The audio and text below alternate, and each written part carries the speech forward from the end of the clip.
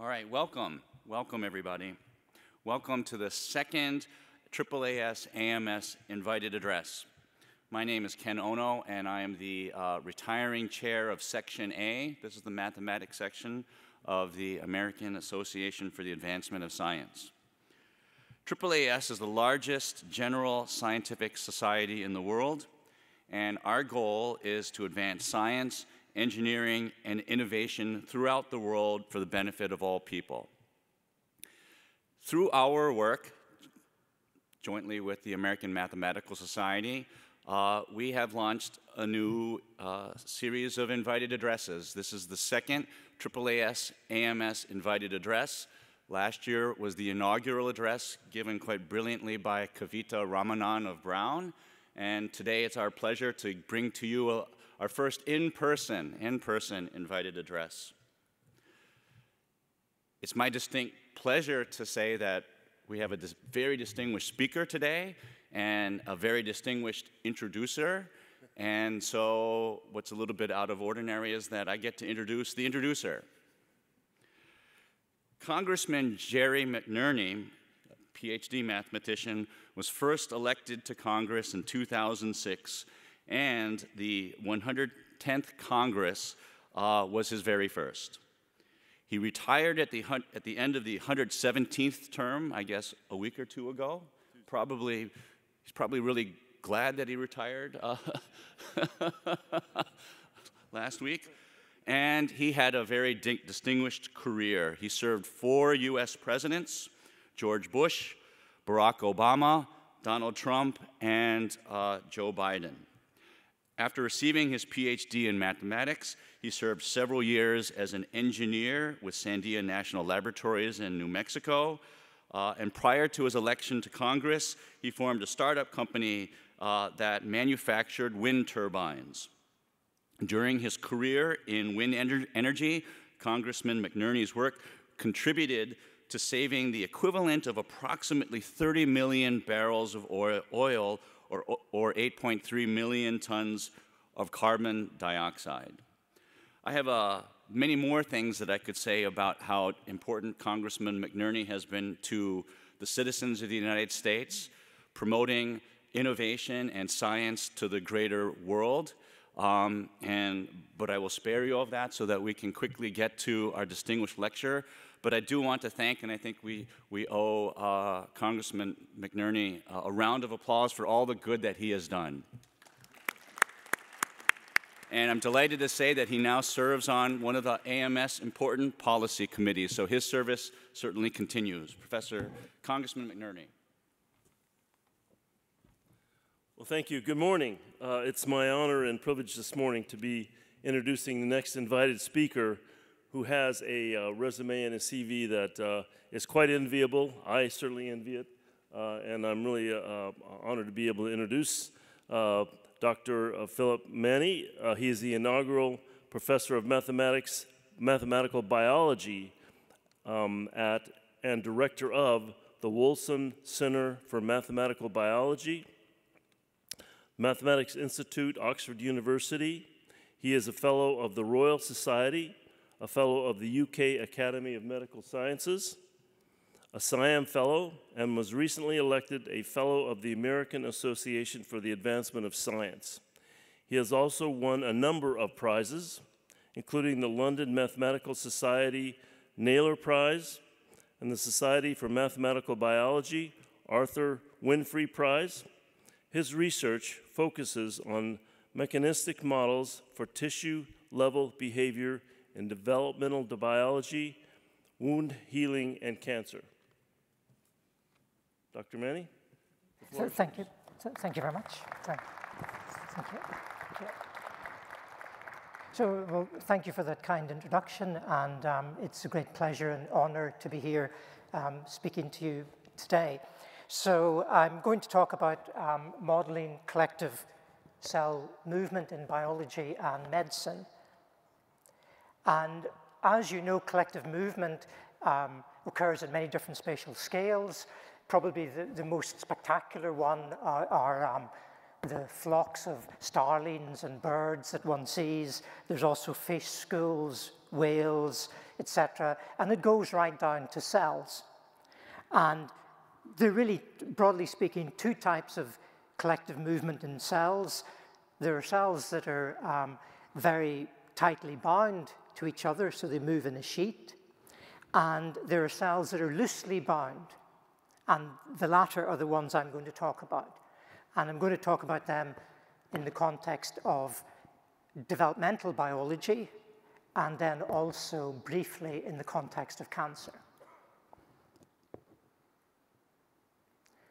So this is work that's been done with um, Paul Kulesa and his group. Um, Paul recently moved from the Stowers Institute for Medical Research to um, University of Notre Dame, and with a number of colleagues, um, both um, faculty, Ruth Baker, and then also um, a number of graduate students. Um, thank you. Louise Dyson, Linus Schumacher, Rasa Giniunaite, and Duncan Martinson, and my colleague Helen Byrne. So neural crest is basically a group of cells that um, have to go somewhere to do their thing, basically, and they're very important in forming parts of our body. And the ones we're looking at are cranial neural crest, which form this part uh, of the body, so the, the sort of jaw, lower chin. Um, and what we see here is there's, there's the head and down to the tail, and these cells, they move along these corridors, okay? And the reason for studying these is that there are many neural crest related diseases. And in fact, one third of developmental diseases occur due to something going wrong with neural crest. And another thing is that their behavior is very, very similar to that of some of the most invasive cancers. And it's an experimentally tractable and powerful paradigm model for understanding collective movement. And this, this was a, a sort of article in which we um, did a sort of review of that. Okay, now invasive cell motion has been widely studied, and um, we can now have a first advert break. Uh, later on this year, we're running a six-month course or a program at the Newton Institute in Cambridge, University of Cambridge, and on the mathematics of movement. And what we're going to try and do there, we've arranged a number of workshops, so you, you can sign up to come to them. And the idea is to bring people that work in all different areas of movement, ranging from animal down to cell biology, to exchange knowledge, but also to try and see, are there common processes going on? And later on today and all of tomorrow, here there will be um, sessions going on as well in the Back Bay A room in the Sheraton. Okay?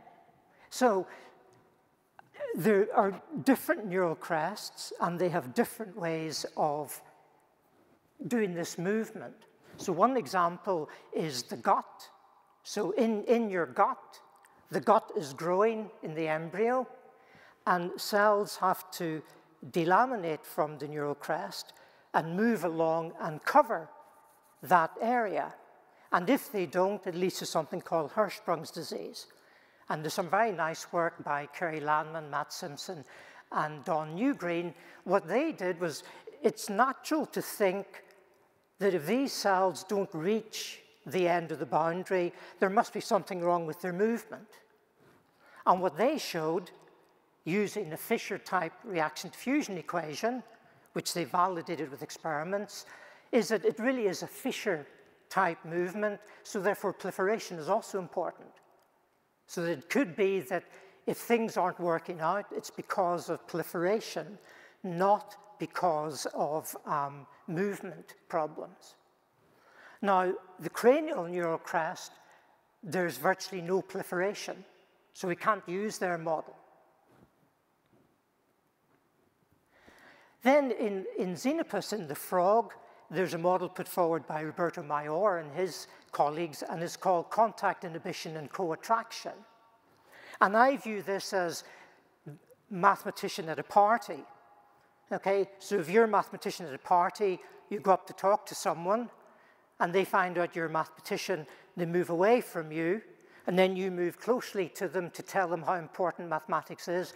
They move away further, you move back to them, say, oh, prime numbers, Turing instability, fantastic, move forward, traveling waves, other things. And in the process, you move along, okay? Um, and so they came up with a model like that, an individual cell-based model, and uh, work by Kevin Painter and, and, various colleagues have looked at um, writing down uh, integral differential equation for that with non-local interaction terms. And then you can get all sorts of patterns in this. And this is good for having a pulse of cells moving along.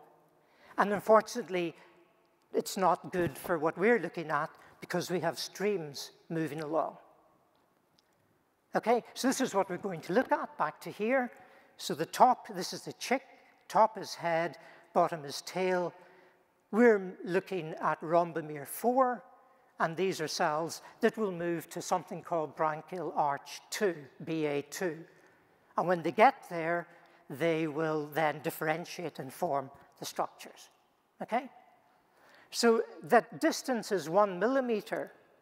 Now, if you think about it, people can now go into space for holidays, right?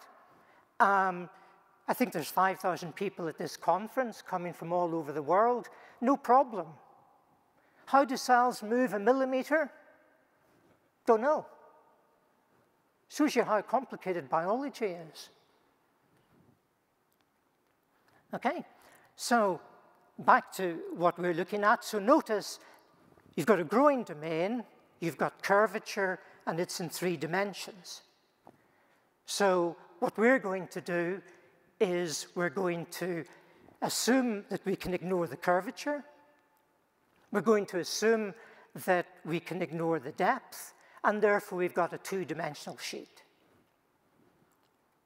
And this two-dimensional sheet is growing. So the middle figure there, I mean, this is work from, from Paul's group.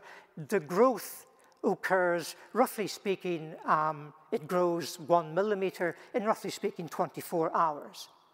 So what we're going to do is we're going to have this rectangle growing along, and we're simply going to take as its growth a curve that fits that, um, uh, th that curve in the middle there, okay? So if you have random, so we work very much from the case of start with the simplest model and build upwards. So simplest model would be cells delaminate from the neural crest and they, or from the neural tube, and they randomly move. That won't work because it will not give you the coherent stream movement. So the next thing is to say, is there a biased random walk? And it turns out that there's a chemoattractant called VEGF, which is produced by the overlying tissue. And cells consume VEGF, that creates a gradient, and they move up that gradient. So you've got the biased random walk. Okay? So what we do then is write down a reaction diffusion PDE for VEGF, and I'll show you that in a minute, and we need boundary conditions along the corridor.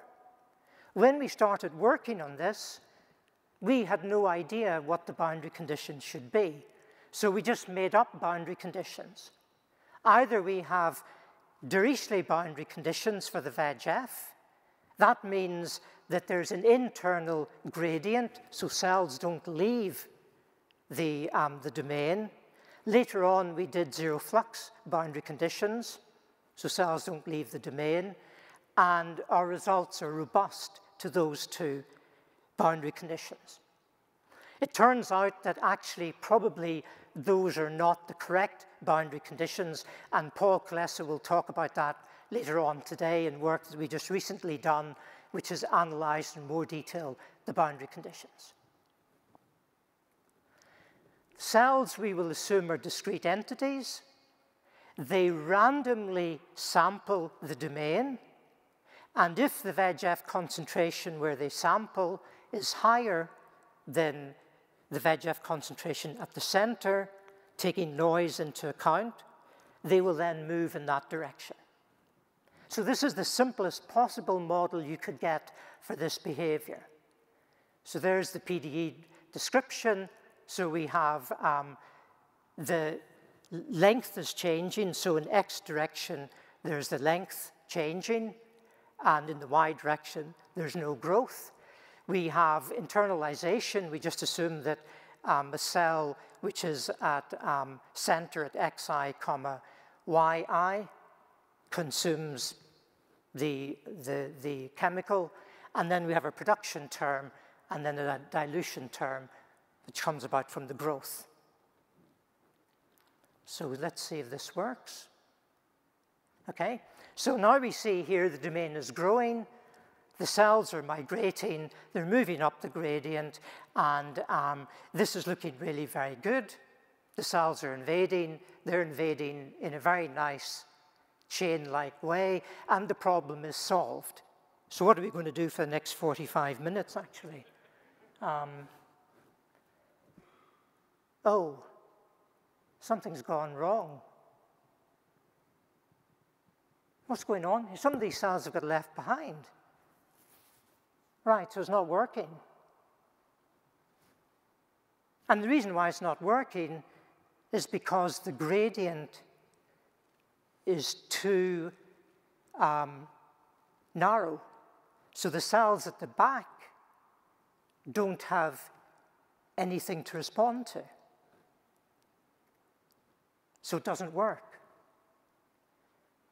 So then um, Louise Dyson, who was a student working on this, thought, well, the cells at the back, they see the cells at the front.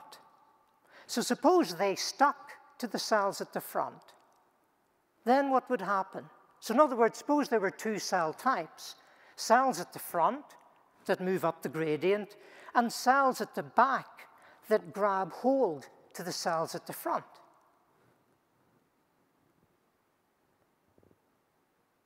And then you see you start getting these trails. So this is where we've used the model to, first of all, test a hypothesis and shown that that hypothesis doesn't work. Then we've generated a new hypothesis. And then we said, well, there must be at least two cell types. That's a prediction of our model. And then Paul and his colleagues went and tested, did um, gene sequence analysis, and they found that um, there were differences between the cells at the front and the back. And in particular, they were really excited by the fact that there were different cadherins upregulated at the front top regulated at the back. And I'll have to be honest with you, when we were doing this, I didn't know what cadherin was until Paul mentioned to me cadherins are to do with stickiness and this upregulation means that the cells at the back are stickier than the cells at the front. So you know the model, your prediction that the cells at the back are more sticky than they are at the front? And I went, oh yeah, of course, yeah, cadherins, of course, yeah, yeah, fantastic. I knew that. Of course, it's much more complicated than that. Biology always is. And you can see here there are different gene expression levels going on.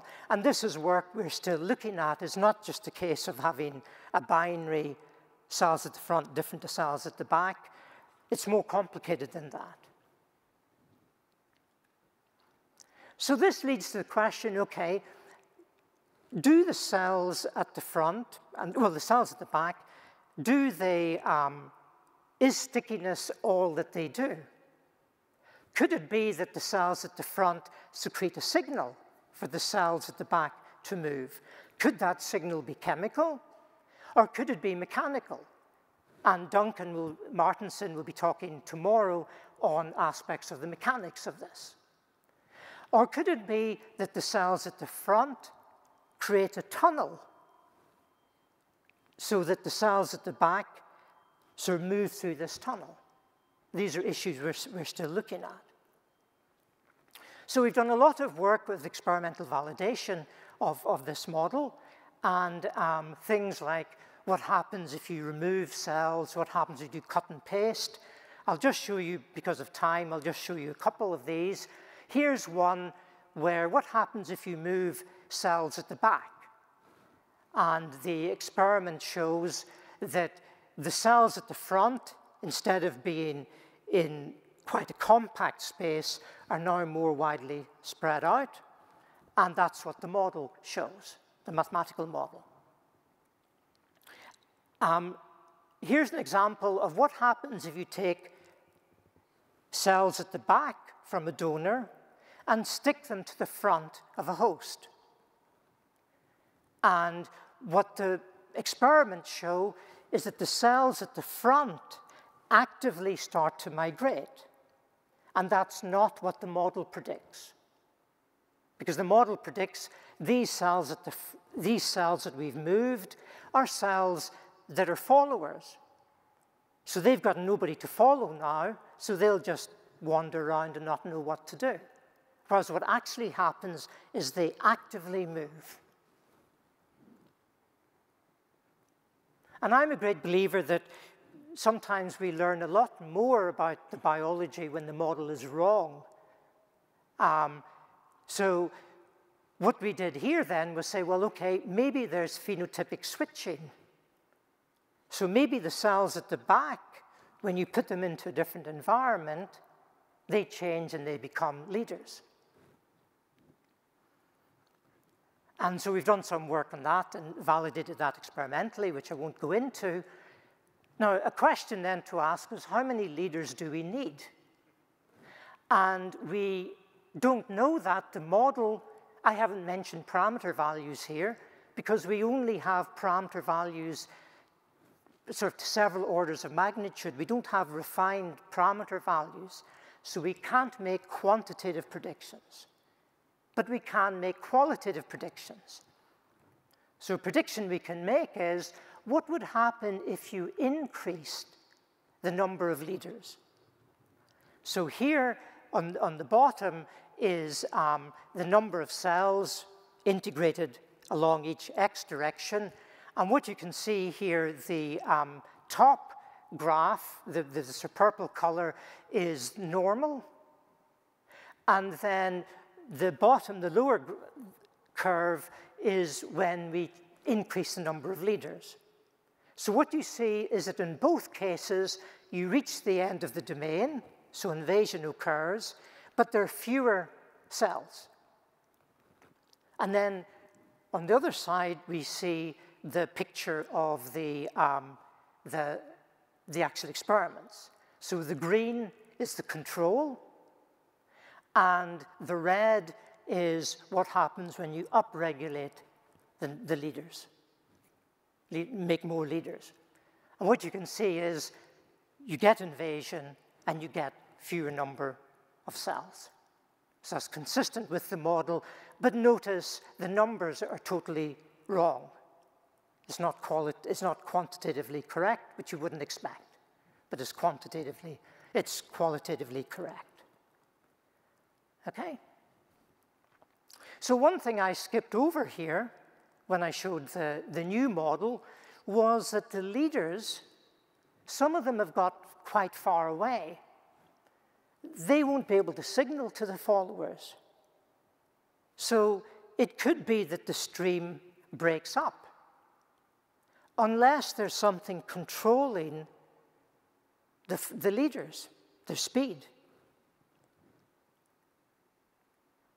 And then what Paul found was the expression of something called Dan, which is in red here, which turns out to slow cells down. And Dan is expressed right by the neural tube. And as the leaders move through Dan, its expression disappears. So, what we think is happening is the Dan is slowing down the leaders, and then it disappears, and the followers can come in, catch up with the leaders. Now, remember, I said that an important aspect of looking at neural crest is that it's a paradigm model for cancer. The next obvious thing to do is what happens if you now confront melanoma cells with um, DAN.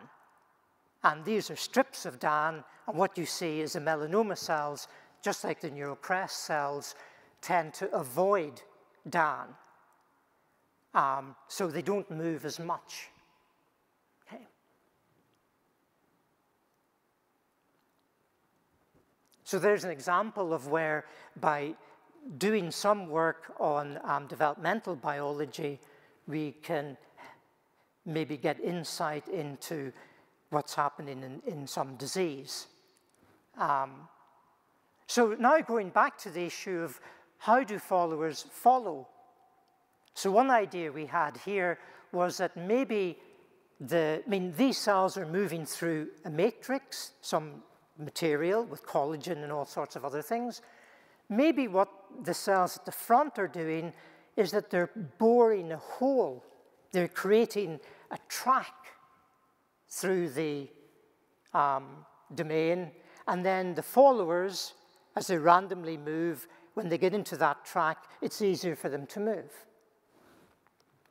And then what Paul and his colleagues found was that the cells at the front upregulate something called aquaporin 1. And what that does is instead of the cells sort of randomly trying to find the direction to move in, these protrusions become more solid and bore a hole through the domain and create tunnels. And in fact, these are upregulated also in tumors. And so now we see if this works. So here's experiments. So at the very top is control. In the middle is when aquaporin is inhibited. And in the below is when the aquaporin is overexpressed. And then the mathematical model is um, basically just reproducing those types of results. So it could be that th there's a tunnel being created by these cells at the front.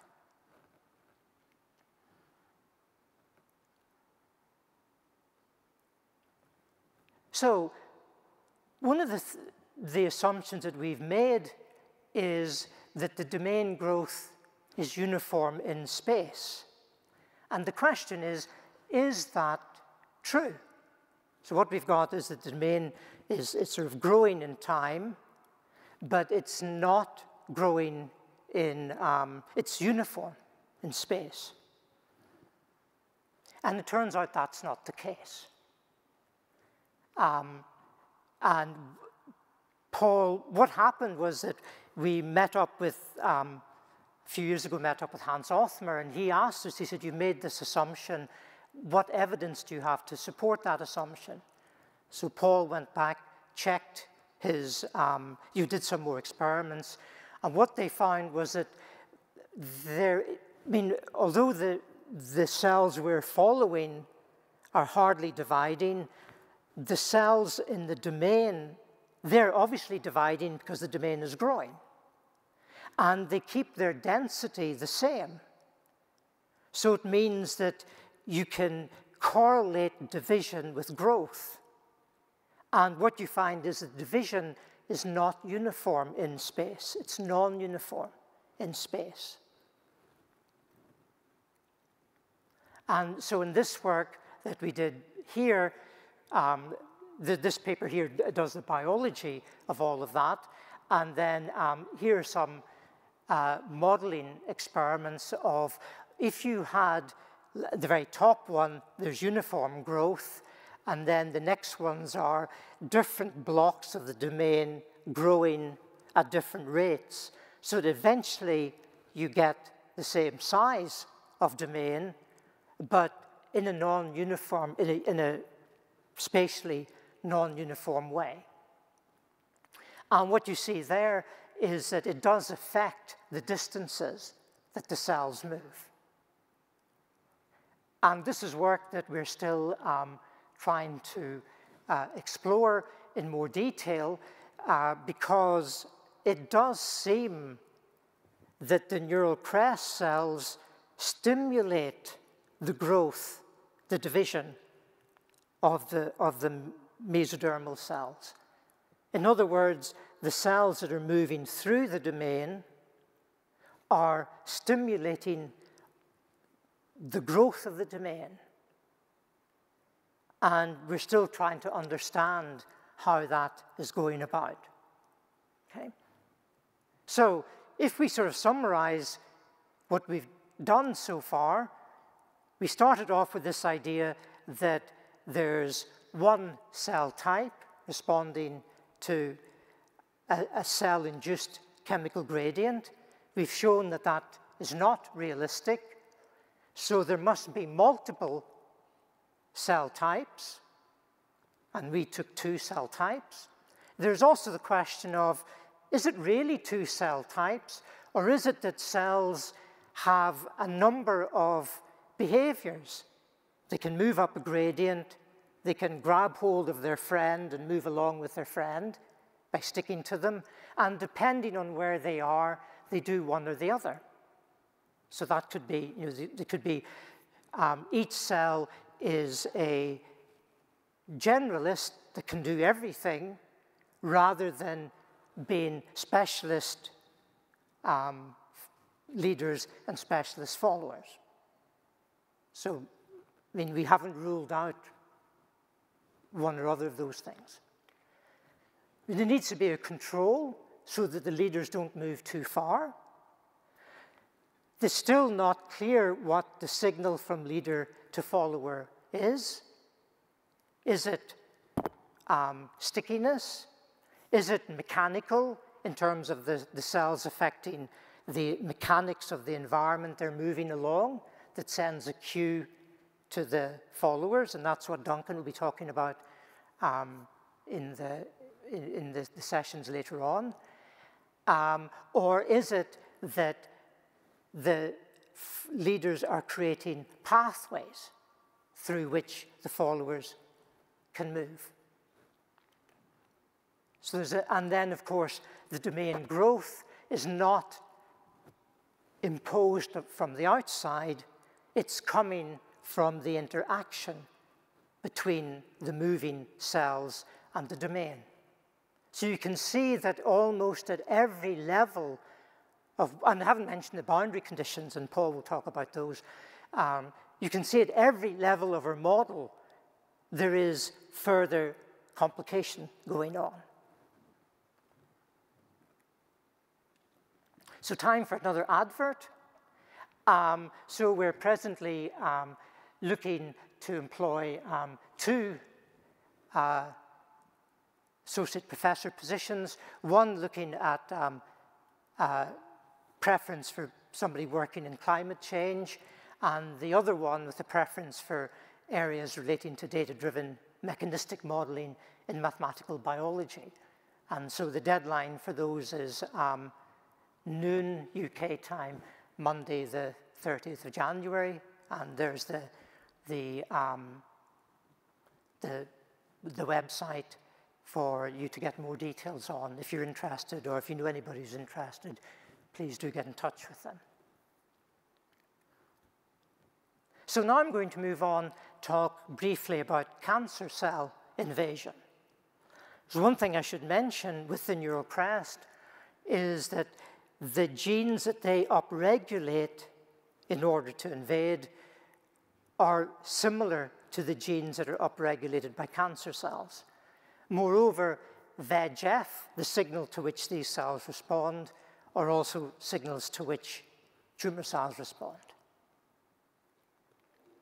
So many, many years ago, um, 1996, was this idea put forward by Bob Gatenby and um, Ed Gawlinski, something called acid-mediated invasion, hypothesis. And the idea here was that tumor cells use, uh, well, we've got a number of different pathways for energy. And one of those pathways is glycolysis. And that is less efficient at producing energy than other pathways. So if there's enough oxygen, you will use other pathways instead of the glycolytic pathway. But something called the Warburg effect is where you have that the tumor cells, even when there's lots of oxygen, use this glycolytic pathway. Which seems a bit of a contradiction because you're using it to generate less energy. But a byproduct of it is lactic acid. And lactic acid is more toxic to normal cells than to tumor cells. So this could be giving those tumor cells a competitive advantage. And what they did was write down this model here. So um, N1 here are normal cells. So this is non-dimensionalized. So normal cells are just growing by um, logistic growth there. That's the first term. We'll come back to the second term a bit later on. Then we have the tumor cells N2 that are growing logistically. And then we have omega, which is the um, lactic acid. So lactic acid is produced by the um, tumor cells, that's the delta 3 N2 term, and then it degrades, and then it diffuses, and the diffusion kills off the normal cells. And then the idea they put in was that, I mean, normal cells don't move, usually, unless there's a wound, and the tumor cells do move. And the idea here, I mean, I should talk, this is not in the embryonic, because obviously in the embryonic state, normal cells move, but not in the adult stage. And then the, the tumor cells, they put this idea that the diffusion of the tumor cells, there had to be space available. So it had to be the case that um, the normal cells had to be brought down below their carrying capacity for the tumor cells to move. And what they found when they did this was that if you started off with all normal cells and then you put in some tumor cells and, and in the model, you got a traveling wave of tumor cells invading the normal cells. And because, of, and the, basically the idea here was the tumor cells produce acid, acid diffuses, kills the normal cells, opens up space, and the tumor cells move in. Because of the nonlinearity, you get not a nice, smooth Fisher type wave, but you get a sharp wave. And you can either have coexistence of the cells at the back, or you could have a gap forming. And this is different to the traditional sort of Lotka-Volterra competition model with diffusion, where there's always an overlap of the, of the different species type. Here you get a gap. So the model predicted that in some circumstances should, there should be a gap.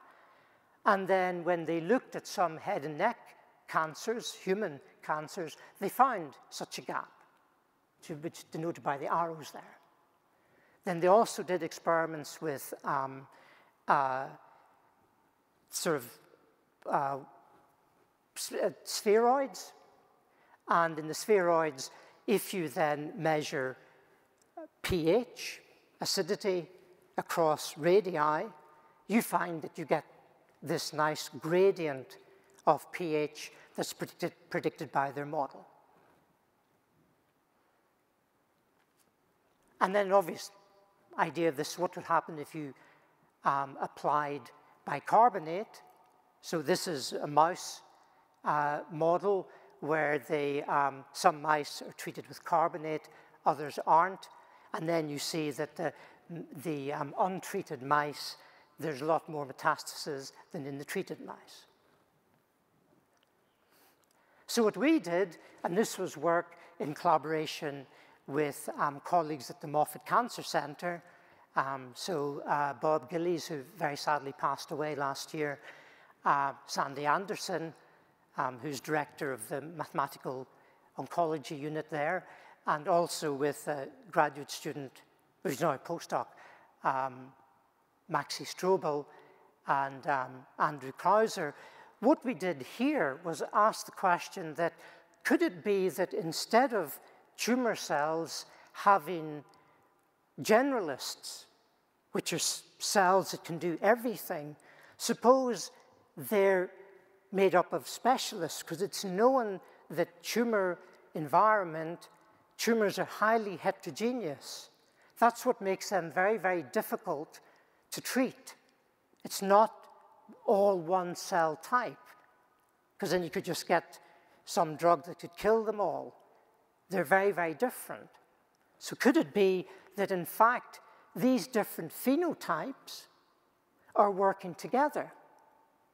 Rather than having one super generalist can do everything, maybe they're all working together. And you can see that's inspired from the um, neural crest work where you've got leaders and followers working together. And so what we did here was we sort of set up this type of um, sort of abstract idea where we said, let's suppose that you're a tumor and you want to invade and there's two barriers facing you. One barrier is the matrix, the extracellular stuff that you have to break down to move through. The other thing is the normal cells, the stroma, that are presenting a barrier. And let's suppose you've got one cell type, tumor cell type we call TM, that can degrade the matrix. And then suppose we've got another cell, tumor cell type, TA, that produces acid. So the idea here would be that the stromal cells, so that's S, they um, grow with their um, normal logistic growth, and then they're killed by the acid, and the acid L is produced by the TA cells. And then the TA and the TM cells are engaged in a Lotka-Volterra competition between each other and the S cells, and those are the, the kinetics terms. But then they can move, but there's a matrix that's stopping them from moving. But then the um, TM, the, the tumor, the um, matrix degraders, degrade the matrix. And that's at minus KTM M term. Okay? So the results, and we do traveling wave analysis, and I'm going to go through that. The results are, are not particularly surprising. Uh, what we find is that if the dynamics of the parameters are such that you that the Lotka-Volterra type thing kinetics gives you coexistence of the different cell types, then you end up getting um, invasion. Okay, so the cells are all mixed and they can invade nicely. However, if you have, because as you know with Lotka-Volterra, you can get coexistence or you can get um, competitive exclusion, where one cell, one species dominates the other species. If you get that, so either TM dominates or TA dominates, the net result is that you don't get invasion. Um, and, and, there's a number of ways that can come about, um, which are illustrated there. Uh, and these results are not really um, surprising. And this picture I put up here is by no means a biological proof of this model. It's just to point out that these are pictures of some um, uh, human breast cancer, and the, the um, green things are those are cells that produce acid, and the purpley things are cells that produce, that degrade the matrix.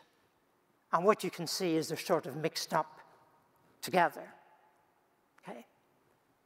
Um, so, I mean, obviously we need more data and need to look at this in more detail as to whether what's happening here is really what we're um, trying to, to do here. So one of the things that we're doing here, um, we're continuing working on this, is saying, well, could it be that these phenotypes are um, sort of uh, are, are in response to the environment? So again, not fixed, not leader follower, you know, um, acid producer, um, uh, matrix degrader, but could it be that depending on the environment, they could change their phenotype? And you could have phenotypic switching.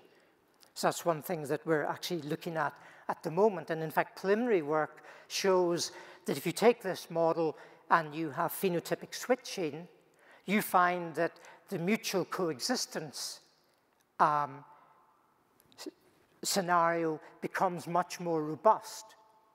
And so the ability for these cells to invade becomes much more robust if you allow for switching.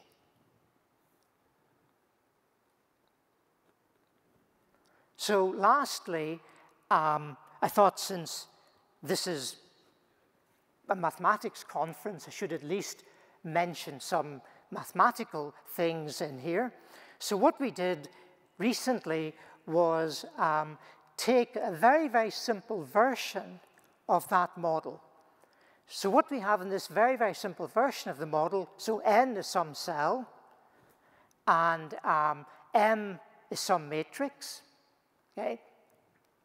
Um, the cell degrades the matrix, that's a minus kmn term. term. Um, the, the cells grow logistically, and the matrix stops the cells from moving. Okay? And we thought, let's analyze that more thoroughly rather than doing numerical simulations. Now, as you know, if in that top term, if m wasn't in that term, then you would have the Fisher equation, which we teach to undergraduates, one lecture on the Fisher equation, traveling wave, nice smooth wave, we know the wave speed, um, unique wave speed, et cetera, et cetera, depending on initial conditions and all that sort of stuff. Um, it shouldn't be surprising that as soon as you tweak this by putting in a, um, this nonlinearity, things become much more complicated because now you have a um, cross diffusion term and also you have a degeneracy because of m is m max. That's, that's a degenerate diffusion term. Moreover, the kinetics for the m term yield that if n is zero, m can be anything. So life becomes a lot more complicated. And this was work with graduate student Chloe Colson, um, my longtime colleague Faustino Sanchez Garduño, Tommaso Lorenzi, and Helen Byrne. And we based this work off some work that Ghislain Messiah had done um, recently. So what we do, we look at this, and we do the usual, the sketch of the study is the usual thing, let's go to traveling wave coordinates and write it as a system of ODEs. And then let's look at um, steady states of those ODEs and then see if you can essentially, in what is now a phase, three-dimensional phase space, get trajectories going from one steady state to another. The problem is that we have an infinite number of steady states here, makes life a bit difficult. And we do a shooting argument, and this is just showing you some of this shooting argument. I won't go into the detail of this, I'll spare you all the details of it. What you end up finding is that we can prove a, a theorem that there is a traveling, an invasive traveling wave that goes for where um, you go from having um, the cell invades the whole domain, clears away all the matrix, and um, what it turns out is that for any positive wave speed, you can get a traveling wave. So there's no minimum wave speed, well, except the minimum wave speed is zero, I suppose you could say. Um, and then we find that because there's a continuum of steady states in M, with, with n equal to zero, m could be anything, that if you have far ahead of the wave, instead of the matrix being at its carrying capacity, it's a bit below its carrying capacity, then you get a traveling wave, but there is a strictly positive minimum wave speed. And that's a conjecture, we haven't proved that yet. Okay, so a subtle difference between whether far ahead of the wave m is at its carrying capacity or whether it's below its carrying capacity.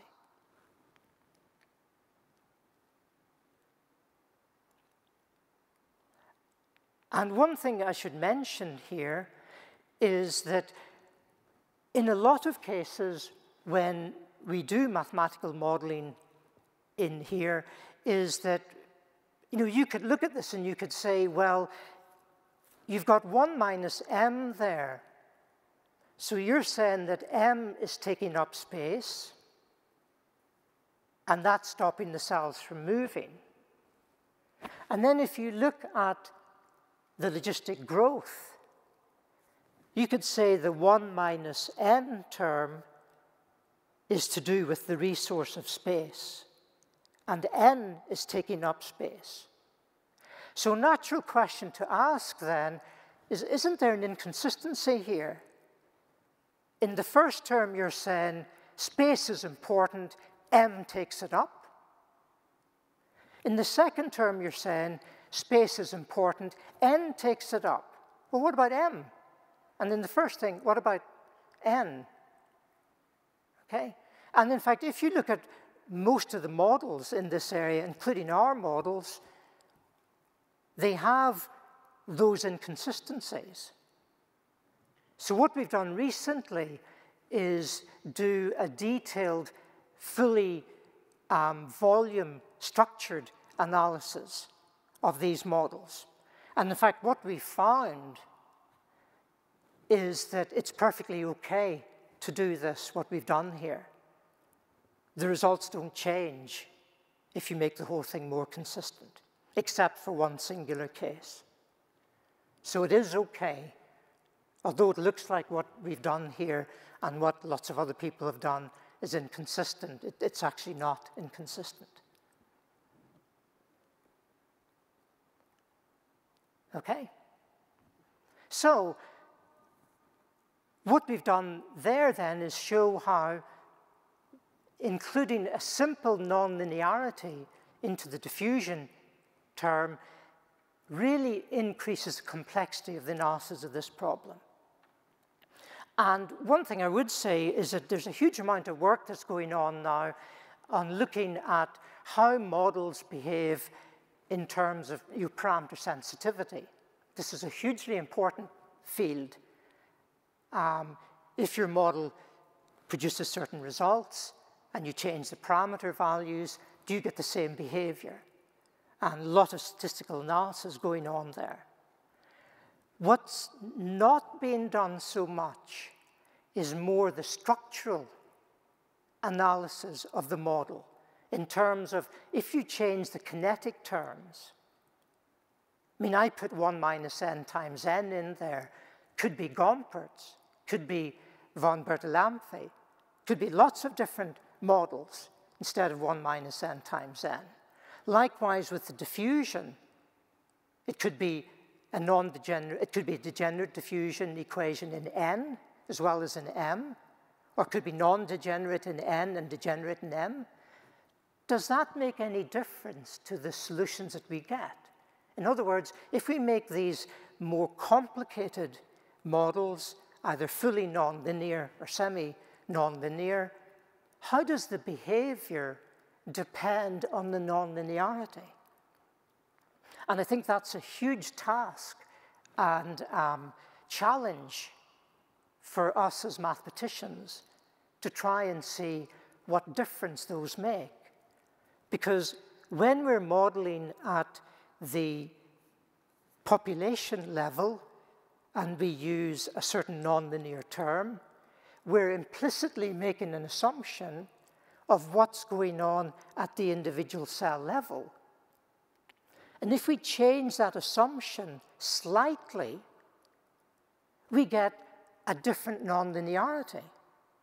And will that give you a completely different behavior?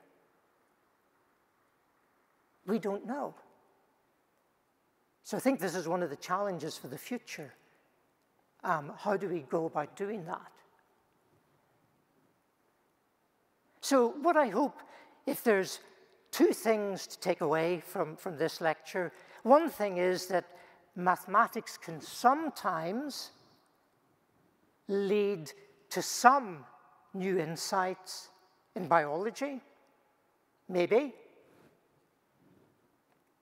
But biology always leads to new, challenging, and exciting mathematics. So thank you for your attention. And just to point out again, don't please do try to come to the special session um, that Alexandria Volkening has been the major person in organizing that um, this afternoon and um, all day tomorrow. And um, remember, look into this Newton Institute Mathematics of Movement, uh, which will start in, in um, July. So I'll stop there and thank you for your attention.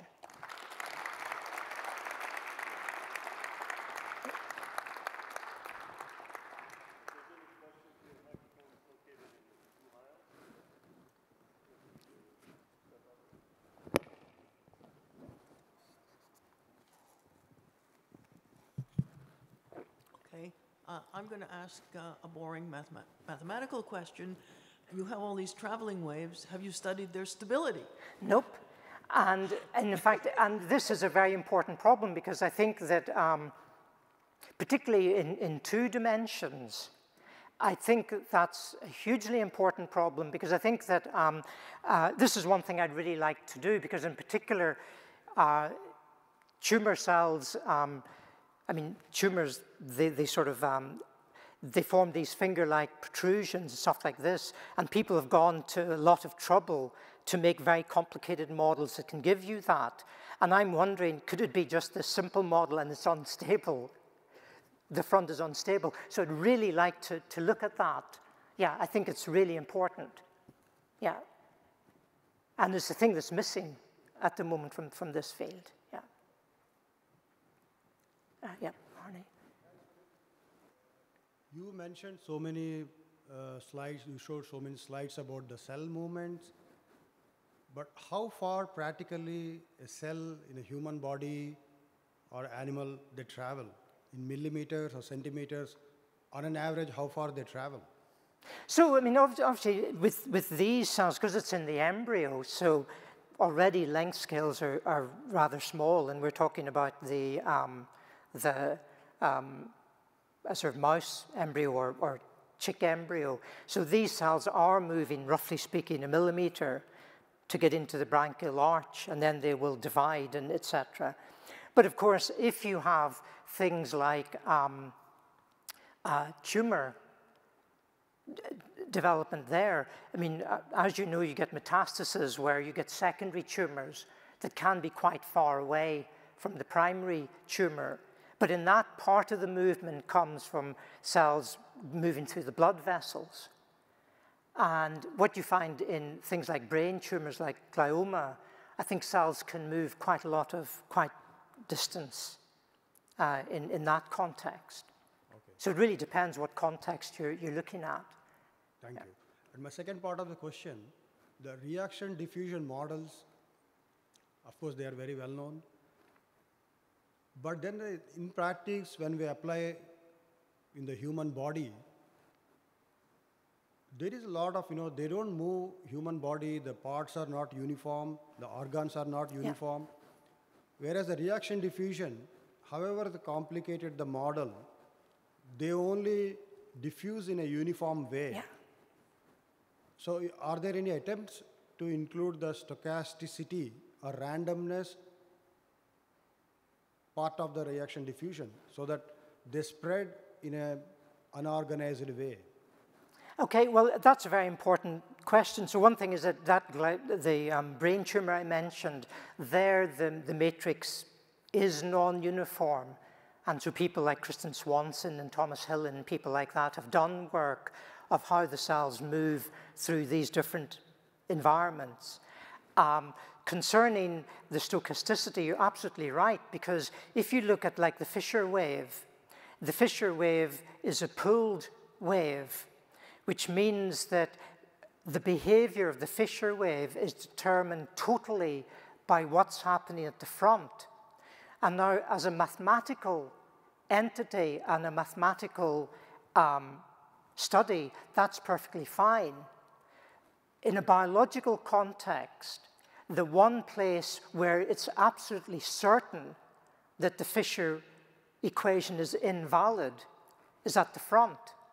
So you've got a model whose behavior is determined at precisely the point where the model is invalid. And so people have looked at this by saying, well, what happens if we have far ahead of the wave, we have a stochastic model, and then for you know, behind the wave, we have a um, PDE model, and how we link them together. And Alan Hastings gave a nice overview talk of that the other day in the ecology session, and there's a number of people who have looked at that, and it's very important. And in fact, one thing that we're doing at the moment in the context of Neural Crest with Duncan Martinson and my colleague Jose Carrillo and a student, um, Carlos uh, Falcó um, Gandia, is having leader cells being individuals and having the follower cells being a PDE and looking at how the interactions occur to see how the stochasticity has an effect. So th- that's, a, again, another very, very important complication and open problem. Thank you. All right, so let's thank Professor Maini again. Okay, thank you.